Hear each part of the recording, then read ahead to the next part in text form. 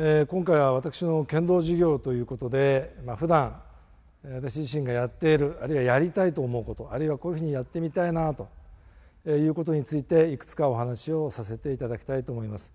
なかなか理屈で思っていても思うようにいかないのが剣道でありますし当然相手がいるということは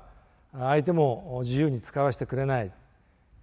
その中でどうやって自分を表現するか。まあ、これが大事だろうと思いますので何かの参考になればありがたいと思います。よろしくお願いいたします。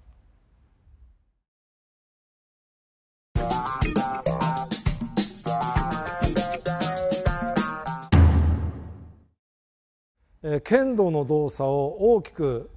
分解して理解しようと思うとしないを振るという動作。そしてもう一つは体を移動させると。いう動作の2つに分けられると思います。しないを振る動作については一番大切になるのが手の内あるいはしないを握った時の腕の形だろうというふうに思います。そして2つ目の体を移動させる動作。これについてはよく言われている足さばき。足の使い方がどういうふうに使うかというのが非常にポイントになってくるだろうというふうに思います。最初に構えについて説明をしたいと思います。当然構える時には手で持つわけですので持った時の力の加減それから持った時の腕の形そういったことが大切になろうかと思います。私自身が見ててあの構えいいなと思うのは必要以上に力が入らない。だけども必要なところはきちっと力の入って力強い構えあるいは柔らかい構ええそれが一緒になっているような構えが、まあ、いい構えだというふうに思っております、え当然持った時に左の拳、え左の拳右の拳の特に小指の部分、えこれをしっかり持って、え親指人差し指は軽く添えるぐらい楽にしないを持ちます、え当然肘や手首も楽にします、えその手の内手の内がきちっとできているというのがさえのある。あるいは自由な市内の振りにつながってくるというふうに思っています。まず手の内については映っている状態でなかなか言葉で表現するのは難しいんですけども、まあ、見て、えああいう手の内がいいなあこういう手の内はどうなんだろうということを感じてもらえれば幸いです。私自身が一番気をつけているのはやはり左手の作り方。だと思います、えー、ちょうど今カメラから横に映ってると思いますけども見た時に肩から肘そして、えー、手首の方に向かってしっかり曲がっている。これが脇が空いてる状態で横から見た時に一直線に見える状態、えー、よく脇が空いてる構えって言いますけども、えー、こうなると内は刀が触れない、えー、こういう打ちになってしまうということですね。えー、脇を締める。肘を曲げる。でその延長上にしないがある。で当然肘から手手の先にしないがあるわけですので動かす時に手首の動きが直接しないに加わる。この時に遊ばない。そのためには小指を締める。左の小指右の小指を締めます。で緩まないようにかといってあまり強く握りすぎないようにしてしないを握ります。これがまあ、正しい手の内才のある手の内ということになるわけですけどもこの形でしないを握る。あるいはこの形でいつでもしないを握って打突が出せる状態。これがまあ上半身のしないを振るという動作の中で非常に大事になってくるだろうというふうに思っています。見て分かっていただけるでしょうかね。あまりこう力が入らない。がっつり握らない。かといってリラックスしすぎて緩まない。裏側小指側の筋がしっかり張っている状態。表側は楽になっている状態。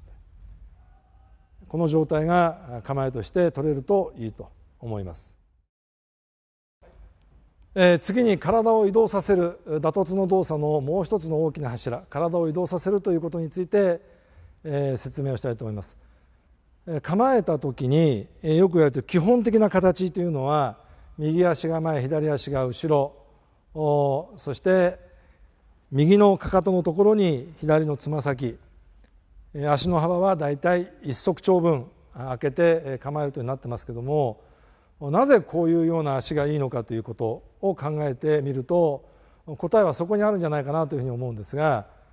当然剣道の場合には前に出る動作あるいは後ろに下がる動作これがまあ基本になってくるわけですけども左右に動くあるいはさばく対軸の方向に体を回転する。まあ、いつでもどういう動作でも素早く対応できることがいいわけですので、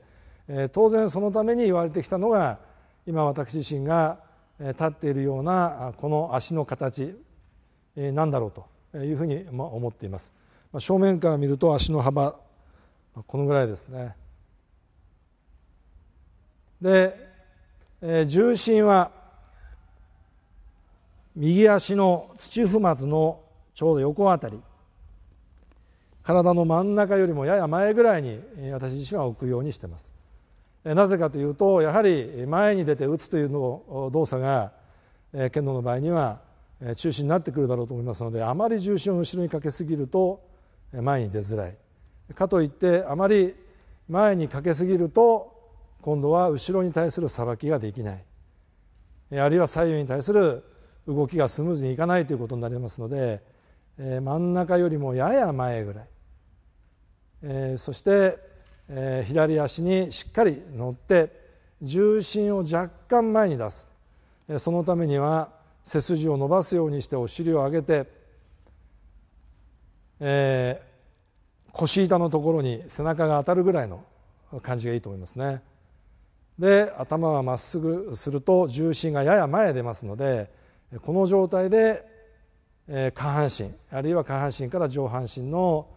構えの形を作るようにしています。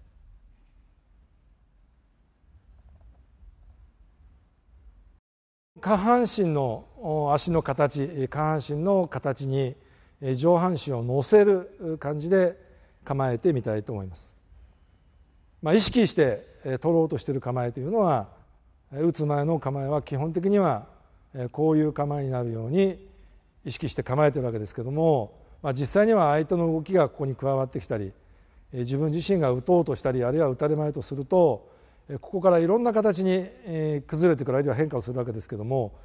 極力この形を崩さないように、稽古したり試合するようには心がけているつもりです。